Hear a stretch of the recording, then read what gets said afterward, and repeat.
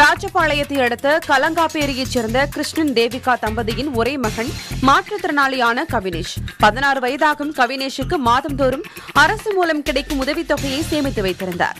இந்நிலையில் தனது சேமிப்பு பணத்தை அரசு நிவாரண நிதிக்கு வழங்க வேண்டும் என வட்டாட்சியருக்கு தெரிவிக்கப்பட்டது.